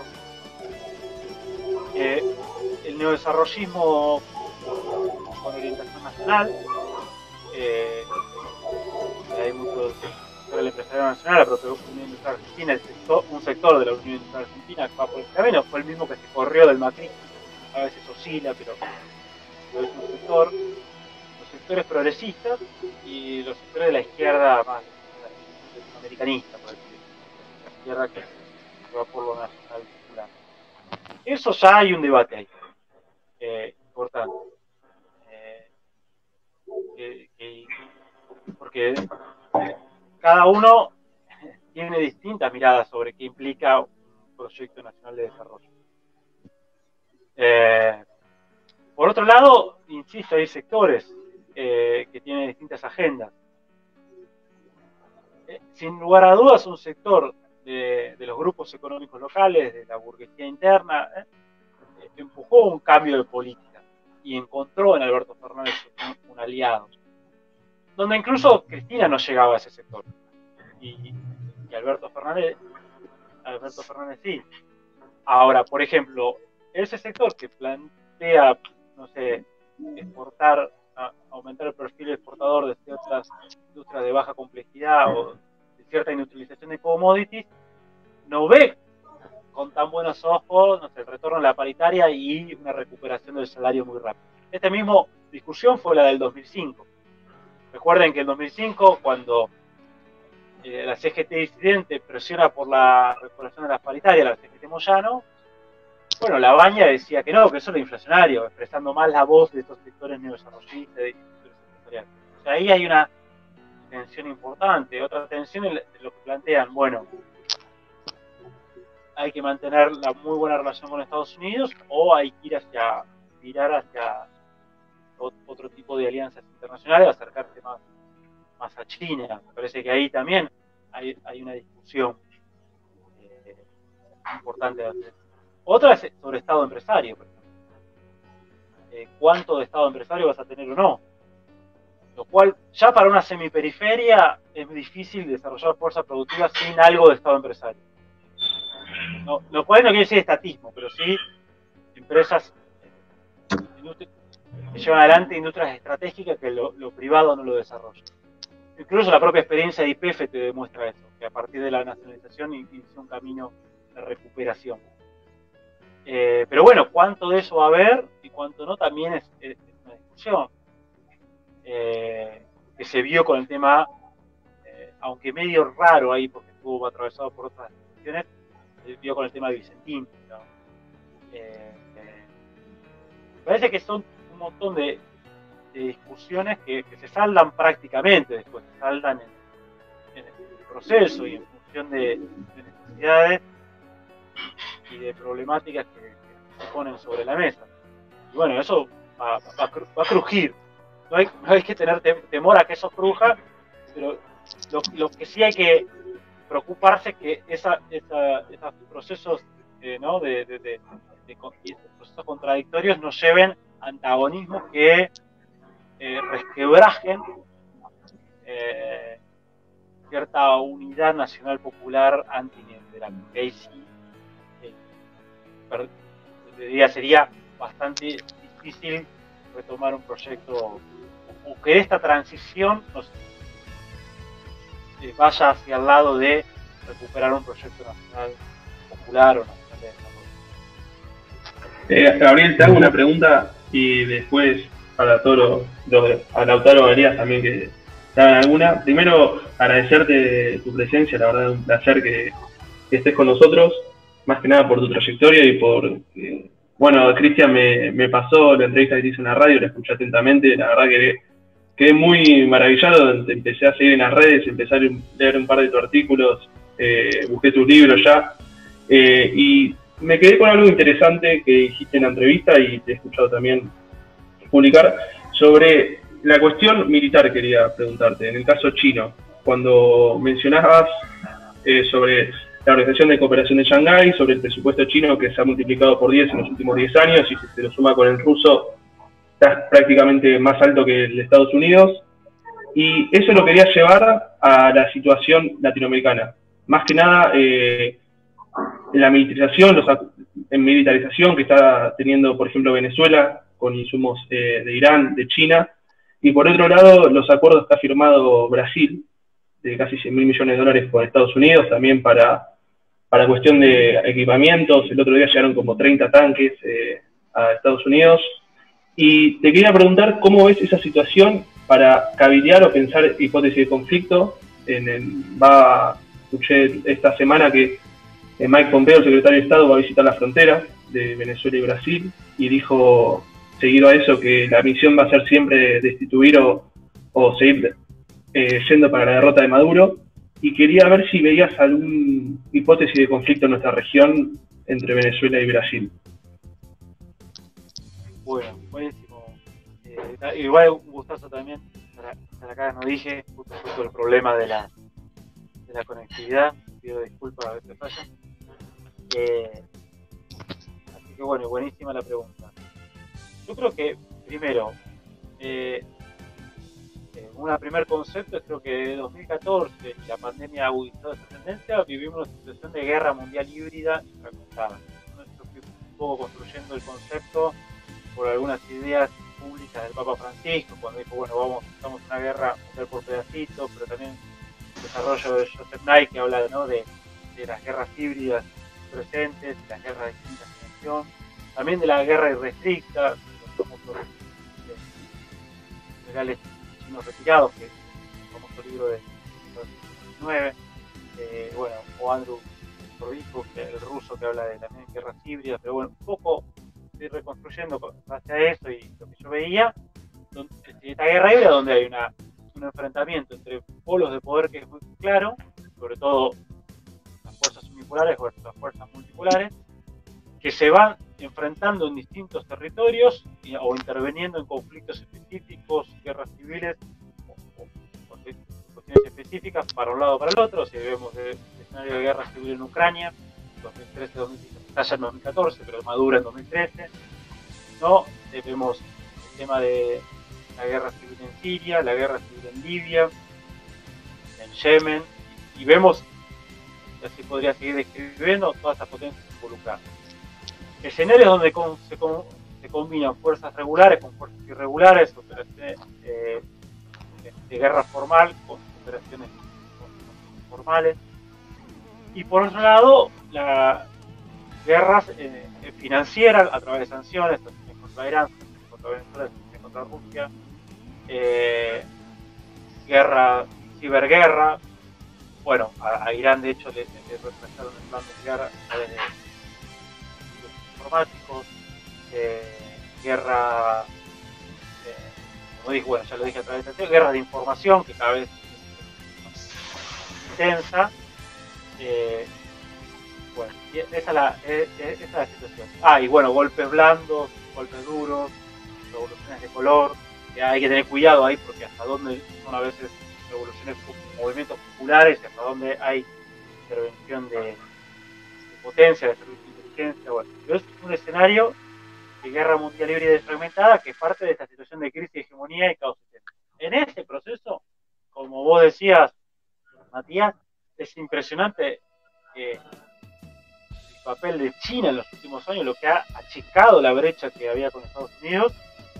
Y se ve, por ejemplo, en que Estados Unidos admite en un informe del Congreso que perdió la hegemonía en el Pacífico Occidental, perdió la primacía militar manos de China por el desarrollo de submarinos de, de la Marina China y de la capacidad misilística de China. Ahora mandó dos portaaviones a Estados Unidos, pero entiende que ahí cambió completamente la situación. Sí, la Red Corporation. ¿Cómo? La Red Corporation había hecho ese informe, creo. Ah, y bueno, la Red Corporation también dijo que en un escenario hipotético de guerra ya no daba como ganador absoluto a, a Estados Unidos también, ¿no? Es un informe. Encima China lo vemos que parte de este cambio de momento geopolítico post pandemia, que aceleró el ascenso de China y el declive relativo, siempre hago términos relativos, ¿no? no, no términos relativos de Estados Unidos y Occidente, eh, eh, China aceleró eh, en el mar del sur de China, bueno, estableció una zona de, de, vigilancia aérea fundamental que ya lo había hecho el Mar del Este y eh, también continuó y aceleró la construcción de, de islas artificiales, ¿no? El archipiélago Raiping, eh, toda la zona de los, del mar del sur de China. Eso se ve eh, y se vio también, bueno, el papel de Rusia en, en Siria, la capacidad de bloquear ahí, eh, junto con Irán, Hezbollah, ciertas intervenciones de Estados Unidos, más Turquía, Arabia, pero también se ve en, los, en Ucrania, en el Mar Negro, bueno, en Libia mismo que está reinterviniendo ahí Rusia de forma indirecta, pero también está interviniendo Francia en posición distinta a la Estados Unidos y Turquía. Bueno, esto se ve. Yendo a América Latina en ese sentido, eh, a ver, la hipótesis que vos, de conflicto que vos marcás con Venezuela y la intervención directa de Venezuela, ya de hecho hubo un intento eh, cuando estaba Bolton, ¿no? El neoconservador, que también quería ir a la guerra con Irán. Eh, cuando estaba Bolton, que después salió despedido del gobierno de Trump, ya había una, una orientación clara a ir a hacer una intervención militar barra humanitaria en Venezuela con Colombia y con las Fuerzas Armadas de Brasil. No se avanzó en eso y se continuó meramente con una operación encubierta que finalmente salió mal, que fue la que salió el descubierto, pero no avanzó con esa operación porque Hamilton Murao, el vicepresidente de Brasil y ese sector de las Fuerzas Armadas, Braga Neto, el autor jefe de la Casa Civil, esos sectores se opusieron, porque era una mancha para Brasil muy fuerte y no querían llevar a eso. Pero Bolsonaro quería avanzar en. Eh, ¿Qué quiero decir con esto? América Latina es parte de esta guerra híbrida mundial y fragmentada y una parte bastante importante, porque además Estados Unidos lo considera el patio y particularmente las fuerzas nacionalistas americanistas que hoy en el gobierno con Trump lo consideran eh, central en su planteamiento estratégico. De, hecho, abandonaron el TPP y el TTIP, ¿no? El Tratado Transpacífico, el Tratado Transatlántico, para gobernar las periferias euroasiáticas, que es la geoestrategia globalista. Esa. Abandonaron eso porque aparte los intereses que ellos expresan están en contra de eso, no quieren competir de igual a igual con Japón o Alemania, quieren que Japón y Alemania se subordinen físicamente, pero también en el plano económico y social. Y dicen la retaguardia es América Latina, la retaguardia es acá se va a, se va a agudizar. Lo hecho, lo vemos en el plano financiero, en la guerra financiera, con la asunción de Claver Carone eh, en el BID, el Banco Interamericano de Desarrollo, ¿no? Eh, que, rompió completamente con la tradición del BID, de que al frente del Banco Interamericano de Desarrollo esté un latinoamericano, forzó eso Trump, porque entre otras cosas, bueno, eh, con el BID intenta, va a intentar Estados Unidos equilibrar la fortaleza financiera y económica china que se expresa en 10 mil millones de dólares de inversión extranjera directa por año, en promedio más o menos en América Latina, y que bueno, el BID tiene 13 mil millones de dólares y bueno, lo van a, tratar desde ahí compensar. Pero también se expresa en, bueno, los acuerdos con, Brasil que, vos mencionabas en materia militar, algo que ya venía desde el gobierno de, Temer, eh, acuerdos militares y tratar de subordinar el, complejo industrial militar brasileño al del Pentágono. Pero fíjate que hay marcha y contramarcha, Matías, porque por un lado está eso, ¿no? esos anuncios, pero por otro lado, un paso fundamental de eso era que la Boeing absorba a Embraer, ¿no?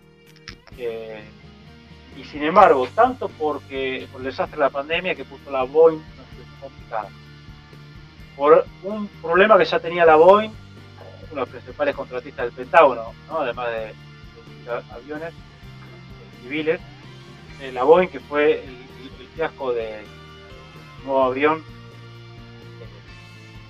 eh, el nuevo avión que, no le salió nada bien. Y, bueno, la propia Boeing eh, rompió ese acuerdo y ahora muchas voces en Brasilia dicen, bueno, hay que hacer un acuerdo en Embraer con los chinos, que es el mercado aerocomercial por excelencia en expansión en las próximas décadas. Entonces, fíjate que ahí hay también marchas contramarcha, pero lo que estoy seguro que se va a agudizar es el escenario guerra híbrida, lo vimos con el golpe de Evo Morales, eh, lo, vamos a ver con el aumento de las sanciones en Cuba, con, no sé, el, triángulo del mar con Cuba, Nicaragua, Venezuela, bueno, por ejemplo, eh, con, esta guerra de información donde claramente cada vez más la embajada deja claro que cualquier alianza con China es incluso a nivel meramente económico, inversiones, es una amenaza para la seguridad nacional. Esto ya decía Curtis, el ex jefe del Comando Sur del Pentágono, en 2018 dijo que las inversiones extranjeras directas de China en la región eran una amenaza para la seguridad nacional. En esos términos se plantea, y eso obviamente en la región eh, va baja, impactando, sobre todo por eso la tremenda estabilidad, tremenda disputa y los claroscuros que hay, porque también, qué sé yo, eh, tenés una situación como la de México, eh, que cambia después de 30 años de neoliberalismo y plantea una, una otra, otra relación con Estados Unidos y otra mirada con respecto a otros conflictos como el de Venezuela, con Cuba. Eh, tenés Bolivia que no pudo considerarse un golpe y que si hay una elección próximamente puede ganar el candidato del movimiento socialismo. Es decir, es compleja la región, pero sin lugar a dudas esta guerra híbrida y fragmentada está siendo presente y va, a profundizarse porque todas las tendencias hacen que eso se profundice globalmente y lamentablemente a nivel regional también. Perfecto. Eh, Lauti Elías. Sí, yo quería hacerte una pregunta, Gabriel. Eh, salir un poco de la región, quería ir eh, un poco a, a, lo que Mackinder llamaba la isla mundo, ¿no? Eh, vemos que China, la alianza, bueno, China con la nueva ruta de la seda, construcción de puertos en Europa y otro tipo de infraestructura. Tenemos a Rusia ahora con el Nord Stream 2, con Alemania. Y vos mencionabas recién ese deseo de algunos países europeos de, emanciparse un poco del control norteamericano. Vos nombrabas que Alemania rechazaba subordinarse, como en su momento con Japón, a, la voluntad norteamericana. Eh, ¿Vos ves factible que Estados Unidos quede afuera del Isla Mundo después de tanto tiempo y que pierda ahí el control? Y es una gran pregunta. Va a ser un proceso de décadas. Lo que ahora se observa es que que perdió influencia en la isla. La presencia en Eurasia ha, ha estado en los últimos años declinando relativamente, ¿no? Siempre hablo, hablamos en términos relativos.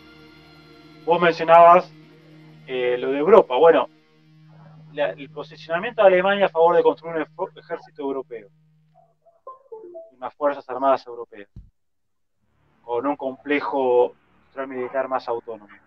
Eso es un pronunciamiento fuerte, viniendo de Alemania. Eh, lo que vos decías de no renunciar al Nord Stream 2 con Rusia a pesar de todas las tensiones. Eh, o ahora se está negociando un, importante acuerdo de inversiones de comercio con China. De hecho, hay un dato. Eh, China se convirtió en principal socio comercial de Europa. ¿No? Y, los avances de la ruta seda, con claroscuro, de forma contradictoria, porque esto no es, no es lineal. Por otro lado, Europa también definió a China como rival sistémico el año pasado, un poco a pedido de Washington, pero también por amenazas ellos mismos ven que pierden el privilegio, pierden cuando China te pone el Made in China 2025 de desarrollo tecnológico, Alemania sufre porque esa tecnología que vendía Alemania la va a hacer China misma. Entonces, bueno, ahí están esas contradicciones. Entonces ahí se, ve esa situación. Después, eh, China eh, avanzó enormemente en Asia-Pacífico eh, con la iniciativa del RECEP, eh, con, con, acuerdos con la ASEAN, que tradicionalmente era una posición de Estados Unidos, la, ¿no? situación del sudeste asiático. y a hoy por hoy, cada vez más eso empieza a, hacer, a orbitar alrededor de China esa ASEAN, aunque equilibran fuerza con Estados Unidos. Eh, y después, ahora se conoció el acuerdo con Irán. Mirá, Brzezinski, que era uno de los principales maquinderianos estadounidenses, que murió hace poco, en su libro El tablero de ajedrez mundial del, del 97, ya decía que una alianza China, Rusia Irán era eh, tremendamente negativa para los intereses estratégicos de Estados Unidos en Eurasia y por lo tanto del mundo, supremacía global. Y eso sucede, e incluso decía Brzezinski en ese momento, bueno, lo, lo, que compensa es que ninguno de esos países tiene la capacidad tecnológico-productiva del norte global. Pero eso ya no es así por el desarrollo de China. Entonces, eso. Otra cosa que decía Brzezinski es que China eh, rompe el cerco de contención de Asia-Pacífico, ¿no? que va de Japón, Corea del Sur, Taiwán, eh, Filipinas, Brunei, Malasia, y todo ese cerco de contención, eh, también se convierte ya no en potencia regional, sino global y, rompe la primacía de Estados Unidos. Esas dos cosas están sucediendo en este momento. No quiere decir que sean definitivas, digamos, que no pueda haber eh, contra tendencia, pero eso está sucediendo. Y más se aceleraron cuando Estados Unidos se retira del TPP, del Tratado Transpacífico, a partir de, la asunción de Trump. Eh, ahí perdió muchas posiciones. Y, el propio sudeste asiático tuvo que eh, mirar con, con, otros ojos a China y, reequilibrar esa, esa relación. Después, el avance de China con Pakistán y cómo quedó cercada la India, con el puerto de Gwadar en Pakistán y también con, el desarrollo en Birmania, en Myanmar, digamos, China, bueno, es, es, otro dato muy importante, lo mismo que las posiciones de China en eh, Sri Lanka. Eh, bueno, que ya contamos de lo que ocurre en Medio Oriente, si vemos que se está eh, cambiando el mapa de, Eurasia, y un dato más para agregar a eso, hay muchos más, podemos, pero no podemos ahí, no están en, una respuesta, pero el, Brexit mismo es, un problema. El Brexit debilita la cabeza de puente eh, estratégica de Estados Unidos o del polo angloamericano sobre Eurasia, que es Europa Occidental. Y, y bueno, eso, eso, eso, es un dato eh, que, tenemos que tener en cuenta. Es decir, la, la, propia disputa interna en el polo angloamericano está debilitando sus posiciones estratégicas en, Eurasia de forma forma clara. Y bueno, eh, hay, que ver. Hoy por hoy lo que puede consolidar eh, Estados Unidos todavía es cierta alianza y equilibrio con India, pero la India también tiene históricas y muy buenas relaciones con Rusia. No es que la India va a ser nada más de Estados Unidos, la India equilibra, juega, e incluso la India también entró a la Organización para la Cooperación de Shanghái, con Pakistán, Pakistán, entonces ahí equilibra, pero bueno, por ahí la India, Japón obviamente, y bueno, Australia, Oceanía, que es parte del segundo que juegan de aliados insisto en que eso se está, la tendencia es, por ahora, es al debilitamiento de eso, y como bien vos decís, a un debilitamiento de la posición. De Estados Unidos en Eurasia, en la isla del mundo, y por lo tanto, eh, debilitamiento, una crisis absoluta de su hegemonía. Lo, que no quiere decir que no siga siendo el, polo de poder que todavía en muchas ramas sigue siendo el dominante, no ya el, hegemónico. Bueno, ahora lo que se abre es la lucha. Elías, vos, eh, ¿alguna pregunta, algún comentario para Gabriel? Y después, bueno, le damos un, cierre al programa. Dale, dale. Eh, no, la verdad que, bueno, primero un gustazo realmente eh, Gabriel. Eh, quería preguntarte, ya que hablabas de, esta pérdida de hegemonía de Estados Unidos y este eh, movimiento ascendente en cuanto a potencia de la República Popular de China, quería preguntarte cómo puede hacer la Argentina o qué debería hacer la Argentina en cuanto a su política exterior respecto a China y si crees que hay otro Estado, otro país en el mundo que también va a consolidar una posición importante en el nuevo orden internacional, y qué posición debería adoptar Argentina frente a estas nuevas potencias, por supuesto siempre teniendo en vistas la preservación del interés nacional. Yo creo que Argentina, en términos, para ponerlo en un concepto, debe profundizar, afianzar y consolidar un multilateralismo multipolar. multilateralismo multipolar. No es lo mismo que el multilateralismo unipolar. El unipolar que es las viejas instituciones tener, es más de las fuerzas globalistas, ¿no? En las viejas instituciones multilaterales, globales, creadas base de la, vieja hegemonía occidental, aprovechar esa multipolaridad, que puede ser beneficiosa para el interés nacional, mantener la multilateralidad y mantener un doble juego, participando en las, instituciones multilaterales ya existentes, donde tiene más peso Occidente y el norte global, pero a su vez participando, incrementando la participación en las instituciones multilaterales de esta multipolaridad emergente que nacen. BRIC, Banco Asiático de Inversiones, Nueva Ruta de la. Ahí uno genera eh, un buen equilibrio con primacía en lo regional. Yo insisto en un concepto, sin Estado continental, no, quiere ser una banderita común, pero una, una estatalidad continental, una unidad continental más, fuerte. Eh, Argentina no tiene por sí mismo una capacidad, una unidad económica suficiente, ¿no? Esto ya está planteado en el ABC, el nuevo ABC que planteaba Perón en el 52. Ya ¿no? En la, la alianza Argentina, Brasil, Chile, no había un umbral de poder una escala económica para un proyecto de desarrollo nacional con cierta autonomía, soberanía, social. O sea, que había un límite muy claro. Entonces, obviamente hay una prioridad regional.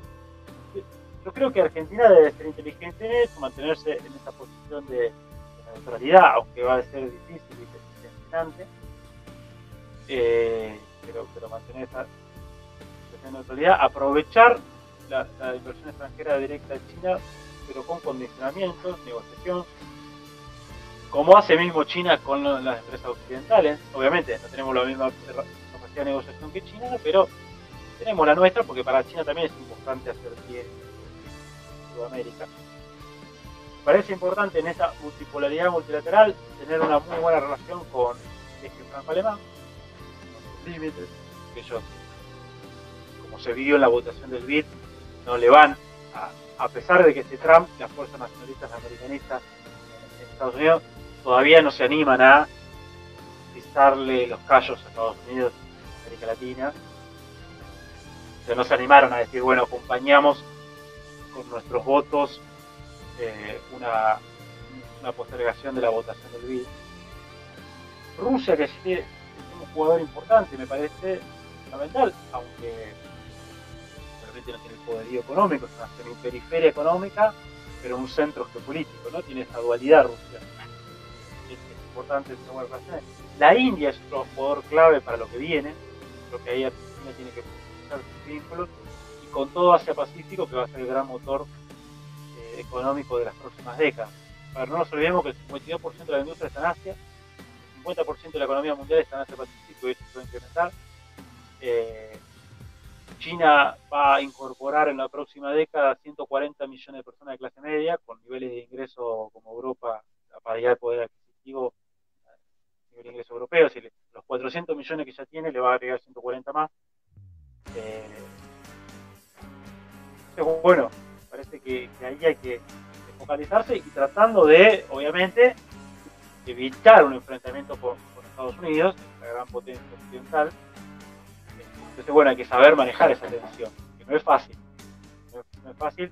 Yo creo que ahí sí puede tener Argentina algún guiño que puede ser importante de este sector, este otro sector del bolsonarismo que es Hamilton Murao o Braga Neto. Yo creo que hay un cambio de correlación de fuerzas muy importante de Brasil a partir de febrero, cuando asumió Braga Neto, sobre todo a partir de mayo. En mayo, el 23 de mayo creo que fue, se presentaron dos planes económicos. El de Guedes, neoliberal clásico, este, bueno, tenemos que privatizar todo. El de Braga Neto, que es más ese neodesarrollismo conservador que, que es más común en Brasil. Y ese Braga Neto expresa los intereses, por ejemplo, de la Confederación Nacional de la Industria, que dijo no desarrollemos el Mercosur. ¿No? Frente a la tendencia de Bolsonaro, que era rematemos el Mercosur, el Araújo, de Guedes, ese sector dijo no desarrollemos el Mercosur. Incluso dejaron trascender ese sector, que hasta lo dijo el propio, bueno, no me acuerdo quién lo dijo en la diplomacia brasileña, de hacer una moneda conjunta el peso real, Pero bueno, puede ser táctico, no sé si no, no tengo estudiado en qué medida eso fue una propuesta seria, pero puede haber ahí un equilibrio interesante, porque aparte, a ver, hay una situación mundial que es la insubordinación de la semiperiferia. Porque fíjense, Brasil, la India, Sudáfrica, Rusia, China, toda la semiperiferia está insubordinada. No quiere no, no ser tan más este Después hay fuerzas internas que pujan, eh, obviamente, no es que eso es lineal. Pero esa tendencia es difícil contrarrestarla y la, frase de Hamilton Murado diciendo hay un matrimonio inevitable entre China y Brasil es fuerte. Por más que ellos digan, respetuoso, no, obviamente, los conservadores dicen, pero nosotros somos parte del hemisferio occidental, no siempre acá. Bueno, creo que Argentina puede tener ahí un margen de maniobra y en su política exterior ir afinando, afinando el lápiz en este multilateralismo multipolar con primacía de lo regional. Excelente. Eh, la verdad, un placer la, todas las preguntas que, te, contestaste a todas las intervenciones. El, quedaron algunas preguntas en, en Facebook que nos están haciendo los compañeros, pero bueno, ya estamos en horario, nos sigue un programa atrás nuestro, así que tenemos que entregar la pantalla. Así que nuevamente muchísimas gracias, Gabriel, por, por venir. Te vamos a molestar si, no te jode para próximos programas. Eh, decirle a la audiencia que el próximo, el próximo jueves vamos a estar con el general del ejército Fabián Brown, doctor en, también en historia, profesor de la Universidad Nacional de Lanús, en la UBA, así que, y ahora también director en INAES, así que bueno, vamos a estar con él el próximo jueves, al mismo horario, siete y media. Y bueno, eh, Cristian, si quieres dar algún cierre, a los compañeros, Lautaro Olía. Dale vos, Cristian, dale vos. Bueno, antes que nada, sí, eh, muchas gracias Gabriel nuevamente por estar acá, por compartir, por alumbrarnos en un montón de cuestiones. Muchas gracias compañeros, eh, a Matías, a Elías, a Lautaro y a toda la gente, a todos los compañeros que nos estuvieron viendo. Así que bueno, los convocamos el próximo jueves, misma hora, 19.30, ensayo general, así que nos estaremos viendo. Muchas gracias a todos.